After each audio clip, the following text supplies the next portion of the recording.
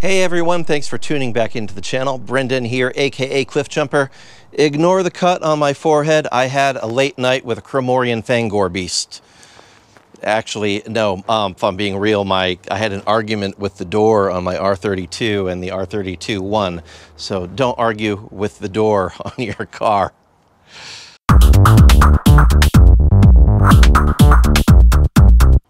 Anyway, what we are doing today is dealing with a typical old car problem that is starting to take place on the Mark IV R32. And weather allowing, it is a little, uh, little sketchy. We might run into some rain. It's been raining all week here in San Diego. Sunny San Diego is not staying classy. We're getting lots of rain.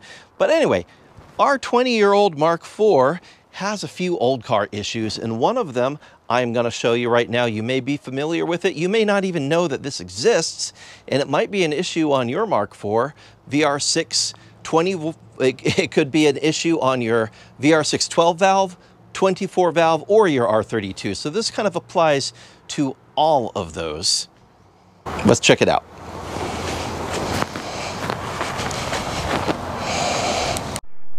So under the hood of the VR6 motor, right here is this very interesting little thing called the changeover rod. It's basically a set of valves that runs throughout your intake manifold and it switches over the intake runners from uh, long runners to short runners depending on RPM and engine load. This is the, the VGI. Basically, back in the early 90s, Volkswagen developed this thing called the VSR manifold, which the va variable intake geometry became the Schrick VGI.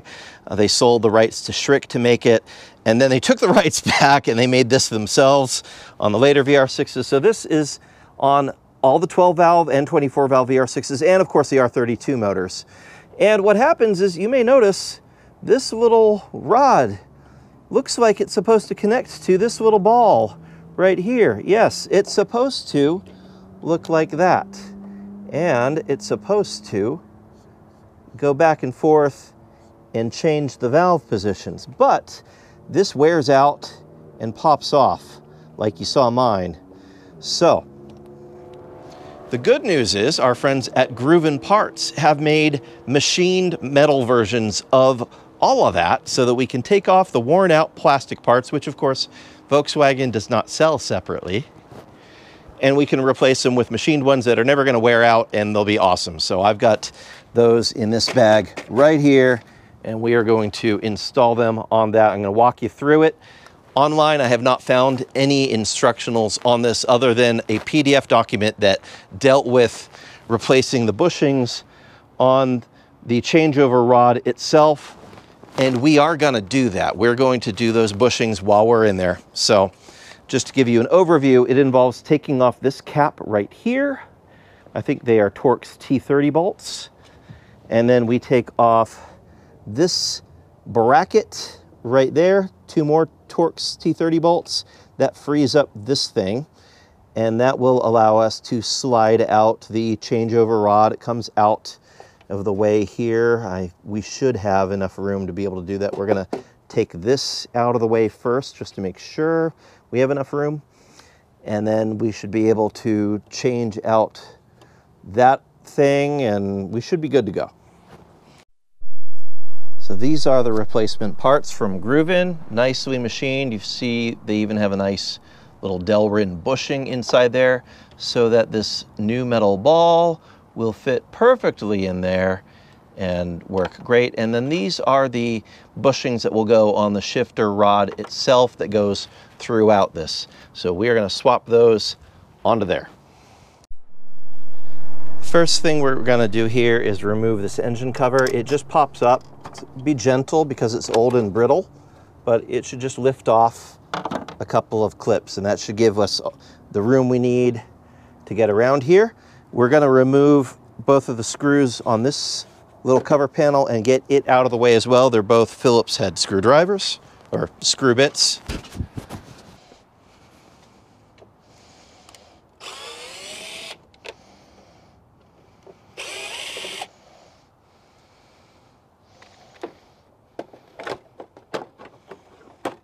So that just comes out of the way. Easy peasy. And put the screws back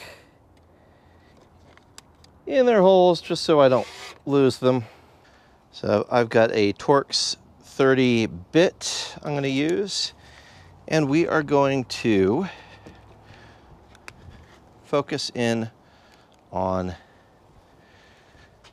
this one first. So uh, this I might want to move out of the way.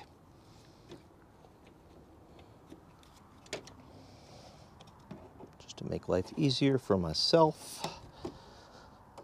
So I'm just to unclip that. That gives me some access here, and that's actually still not great access because there's a bracket for the headlight right in the way. So I will take a slightly different approach to that. Handy dandy 90 degree, and that should do us just fine. There we go. And those screws come out really easily.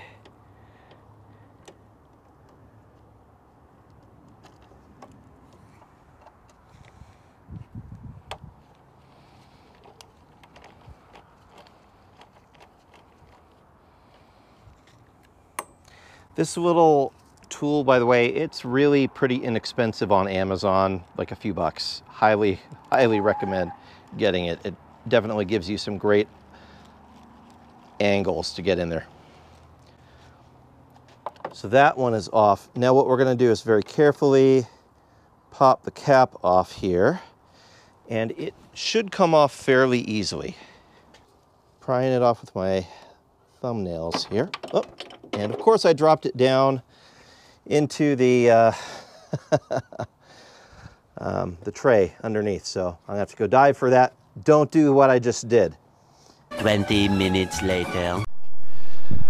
All right, so sometimes the lesson is in uh, learning what not to do. So hold on to this when you pop it off. I have a factory steel skid plate, so I actually had to remove some uh, panels underneath in order to be able to reach up above it and grab this thing from out from under the car. But now we have it. The reason that we pulled this off the end instead of just pulling out the rod from this side is it's got this very important little gasket on the end there that seals against the rod. And here's the danger. If you don't pull this off and make sure you have the gasket, when you're pulling the rod out when you're pulling the rod out here, this gasket could come off and drop down into your motor, which is really not good. And that's not as simple as just pulling off a couple of little panels to get at the part you dropped. So take this off first, make sure you have the gasket. Sometimes that gasket will still be on the end of the rod itself. So make sure you have the gasket. If it's on the rod, pull it off the rod, set it aside, have it for later before you move on. Now we're going to move on to this side and hopefully it won't be as dramatic in removing these screws.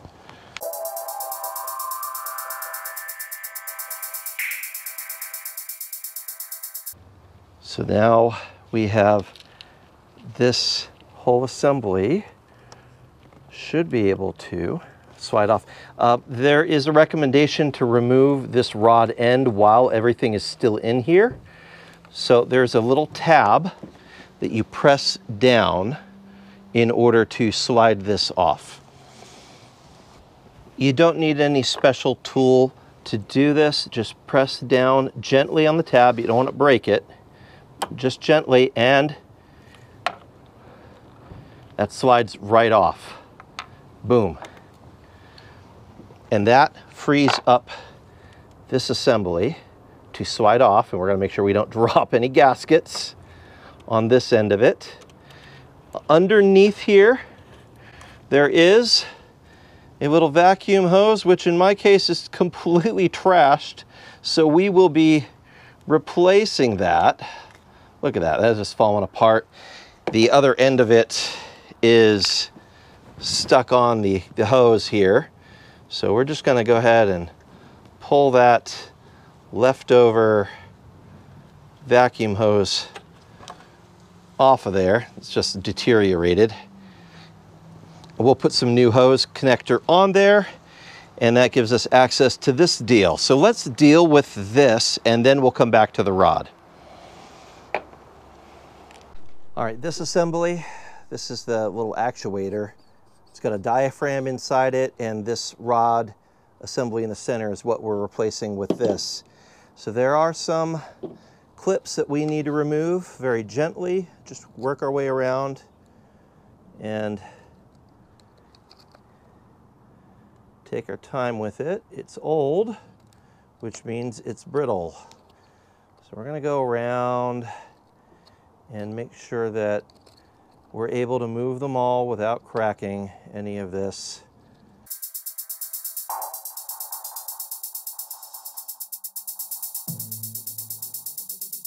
And on this connector here, I'm gonna go ahead and remove as well. It's got a squeeze con connector.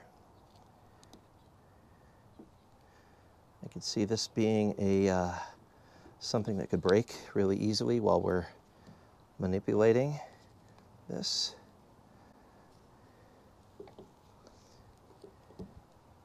And true to form being an old Volkswagen squeeze connector, it doesn't want to come off either. So second thought, I will leave it alone and we're going to give it a little bit of uh, RTV around the, the edge here because it feels like it's not sealing great and I don't want this to be a source of a vacuum leak later on. This would be a really tough one to find without a smoke check.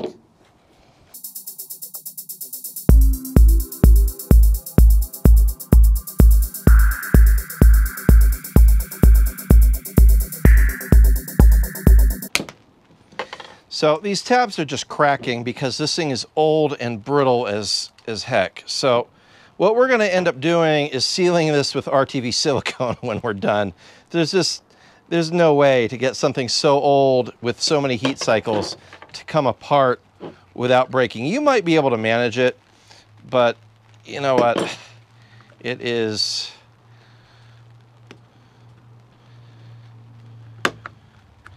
not an easy trick. Let go. There we go. All right. So we've got a spring. The gasket looks like it's in decent shape. And then now that this is apart, this wonderful deal pulls out of the gasket. We're going to put the new one in. Make sure the orientation is the large hole is going to face toward the motor. So this is going in like so. The large hole faces towards this.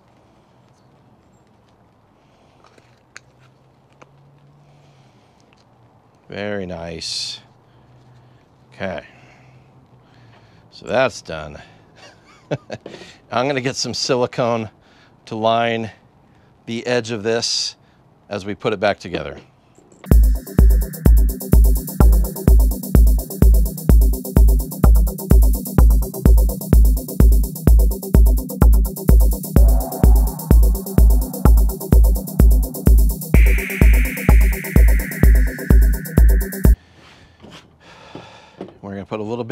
On there.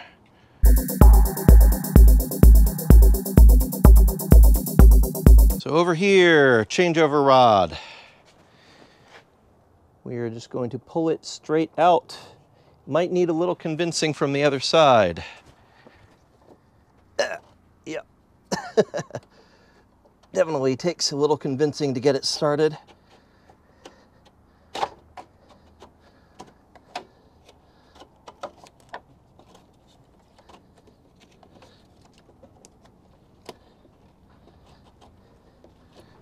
I may need even more room to get it out. Let's go ahead and pop that out of the way. I may need to remove that too. All right, let's see. All sorts of stuff needs to come out of the way.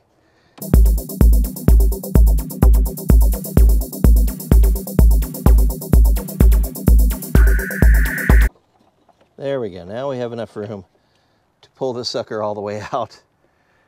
Remember which direction we've got that witness mark, the little locking tab, it's gonna be up. These are the bushings that we are replacing. Should be able to wiggle this flathead in there and pull them apart.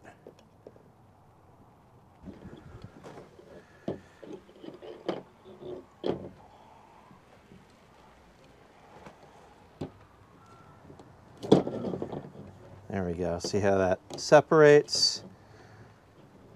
And do the same on the other side. Get that in there. Separate. Those come apart.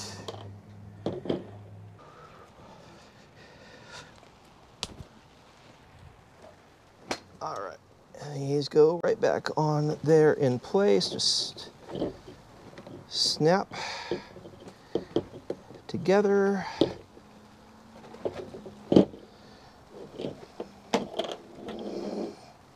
All right, so it really took some force to get those apart, but you see, these are the old ones. When they wear out, it ruins this thing. So you want to replace these before they wear out. That's, that's the ideal. All right, so here, same deal. Wiggle that apart.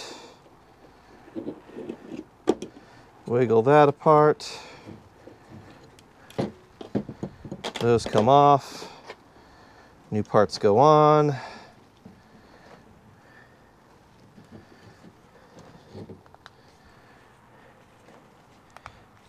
Squeeze together. All right.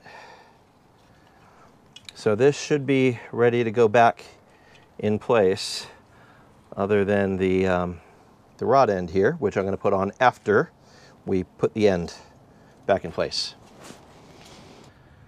Keeping the notch side up.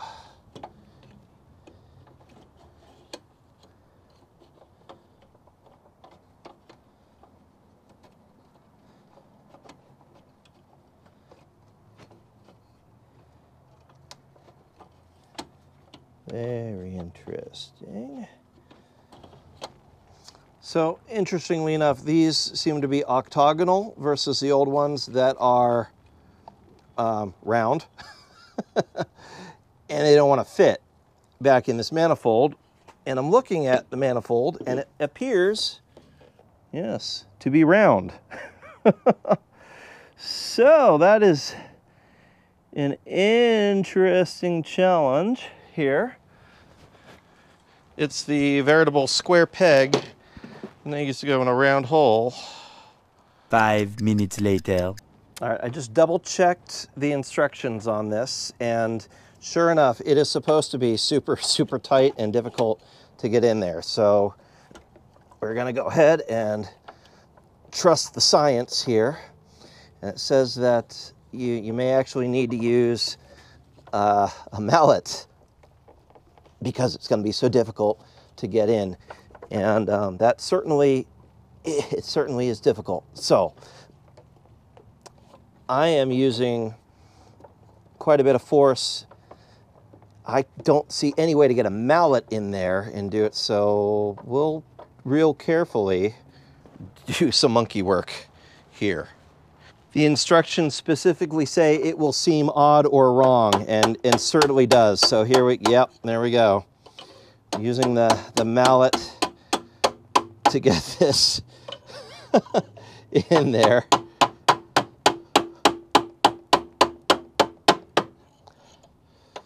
Uh-huh. I, yeah, I don't know. I want to hit the end of that because that's gonna yeah, be kind of a bad day if that breaks.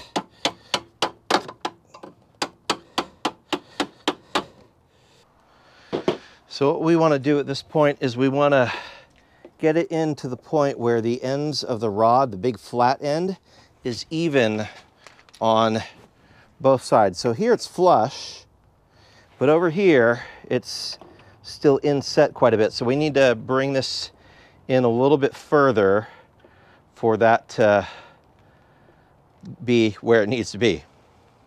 So just a little farther. Again, I'm a little terrified to use the mallet, but this is kind of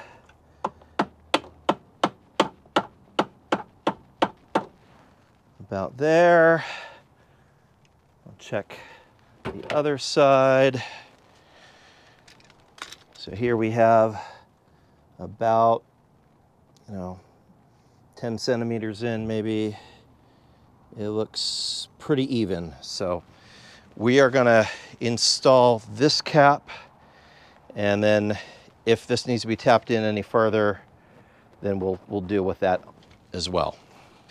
Yeah, the instructions say this will be terrifying and I, I completely agree that I don't like having to bang on that. That was awful.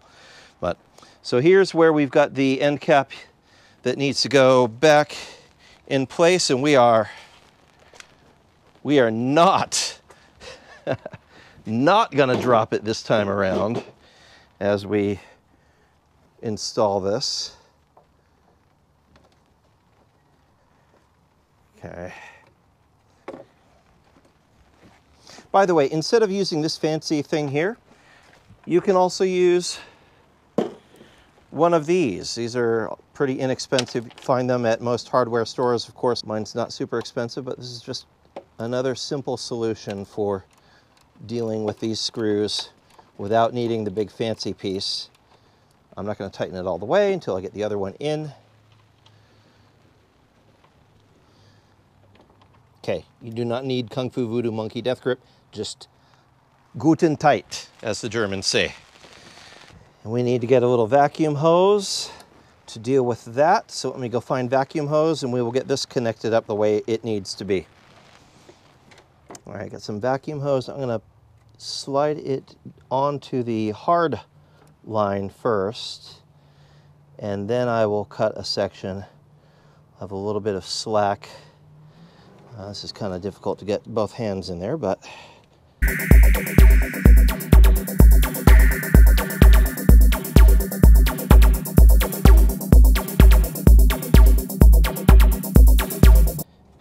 plug that vacuum hose onto the nipple on the bottom of this.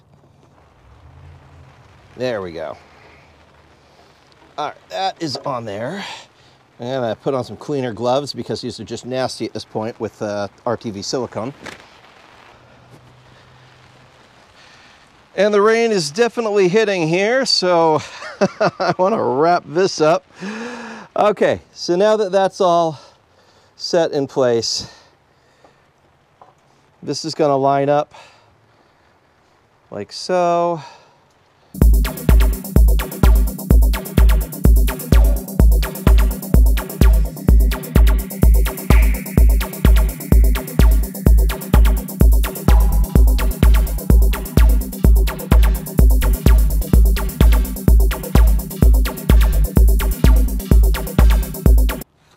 Both of those are nice and tight. Now we will put on the lever arm.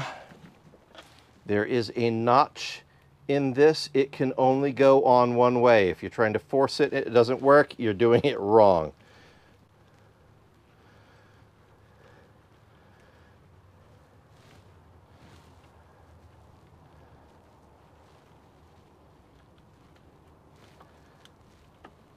That is on, and that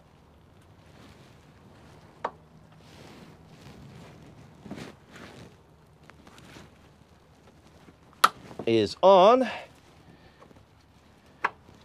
Voila, we are done. So that took a little bit longer than expected because I kept dropping things down in the recesses of the engine bay, but I mean, such is the nature of mechanical work. You're gonna drop stuff, it's gonna happen. It's usually gonna be your 10 millimeter socket, but I've got a little bit more cleanup work to do, put back all these trim pieces that were once in place and put back this this sensor here, connector, whatever it was that clips in place. So I've got a few things to clean up. We'll get those back in, in spot, but this itself, that's great. This is now gonna work the way it's supposed to work without falling off of the end and it'll be a beautiful thing. And I might even put a little bit of silicone uh, lubricant on there just for good measure, but it should be good. It's Delrin, it's self-lubricating, really. But wait, there's more. Yes, a little follow-up on this. We're not quite done with this project. So I've driven around a couple days and I've noticed that while the parts are amazing, um, the piston is getting pulled down into the short runner position, uh, which is good for full throttle, but it's not returning. So the, the bushings here on the rod are too tight after all. And after talking with the folks at Gruven, uh, Mike at Gruven, thank you, let me know that I may need to remove the rod and do a little bit of monkey work to it. So we're going to go ahead and pull the rod back out again and we are going to finesse the inner diameter of those bushings on the rod. Just um, shave them a little bit with some sandpaper, just smooth them out just a little bit, gives it some grease, and then put it back together and we should see some freer movement here. I'm going to also make sure there's some grease on the gaskets on both ends of this as well so it's nice and lubed up and, and freely moving. So that's what we're going to do here right now.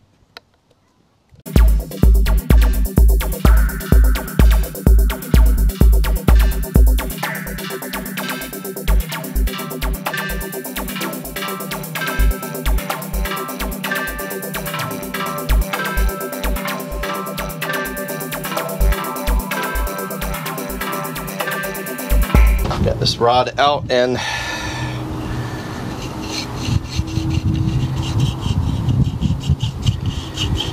Yeah, we're gonna just take these rings off one more time. We're gonna just very carefully do a little bit of grinding around the inside, some sandpaper, provide some lubricant, and then reinstall this puppy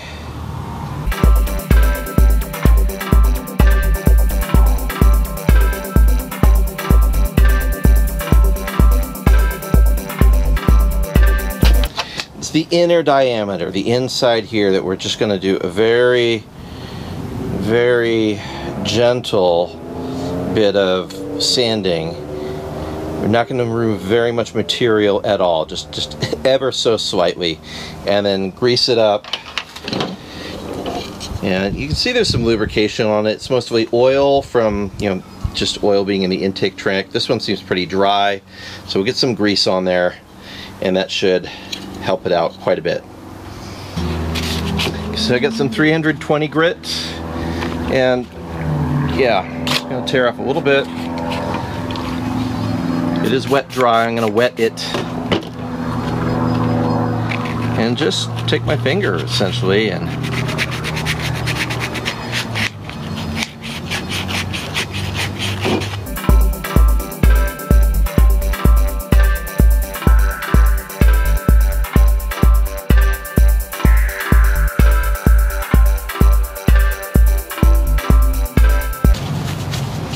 got them a little bit dirty in this process, and now I'm going to clean them up before I grease them up and install them.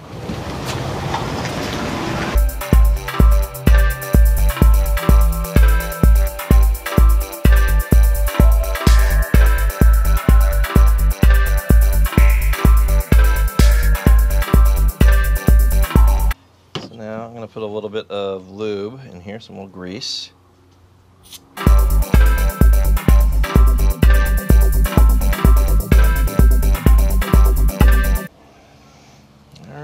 Let's see here. Put that on there.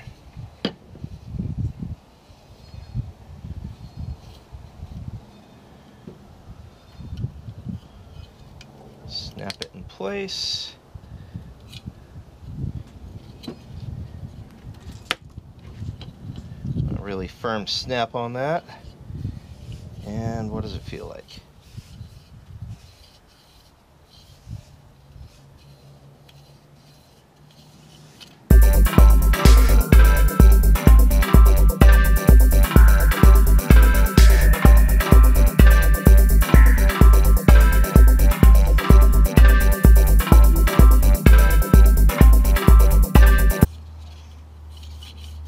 Feels pretty good. Got a little bit of grease around this one as well on these contact points. Just see if we can get it to slide in a little bit easier. So there's that. I'm also going to put some grease on the ends.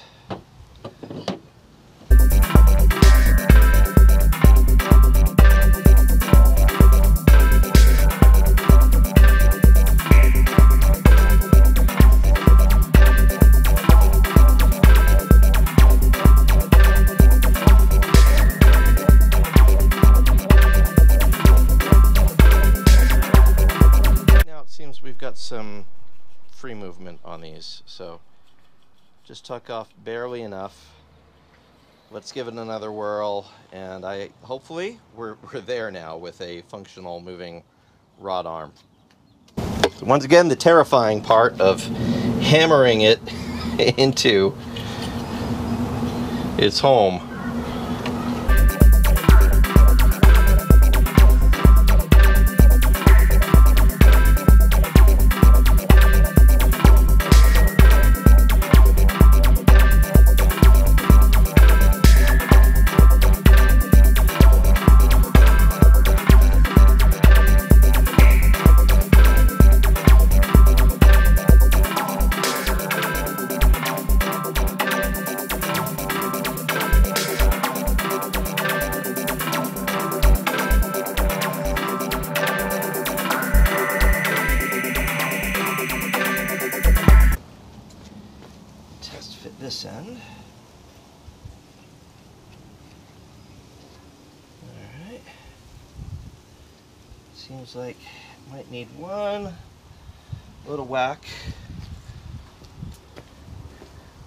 Sit flush the way it's supposed to on this end. So just do that.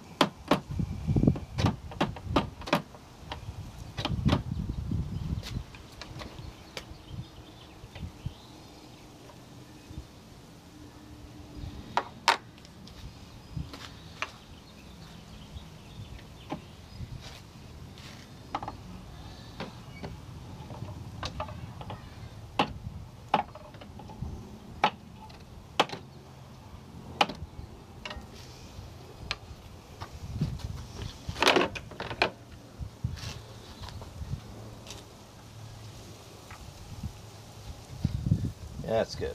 Okay.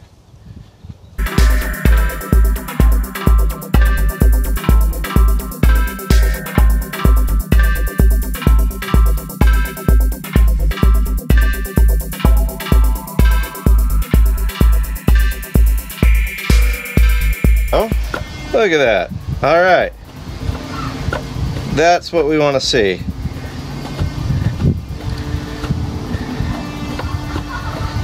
So we'll give that a couple of running cycles, but that looks like it is better and what it is actually supposed to be doing. So much better, much better. All right, we'll run that. Two hours later. And all back together. So, um, lesson lesson learned. Just remember, even though parts are custom made for our cars, and I am super appreciative that companies like Gruven Parts do make parts for our aging cars. Let's be real, they're 20 years old. They're they're old. Nobody should be making parts for them, but still we've got custom machined parts like this assembly. And sometimes they do need a little bit of finagling to get them to work exactly because even though they're very precisely machined, there's always room for the individual car to be a problem child, which mine tend to be. So anyway, I am very grateful to have these parts available thank you, Gruven, Mike, you guys, everyone out there that's making these things. I appreciate it so much. And uh, yeah, hope that was helpful to you. If you've got a VR6 and you need to deal with this, I hope that that gave you a little bit more confidence that it's, you know, it's doable. It's doable at home with hand tools. You can handle it. So, God bless. Like, subscribe, all that good stuff. See you later. Bye-bye. And on that terrible disappointment, it's time to say goodbye. We'll be back.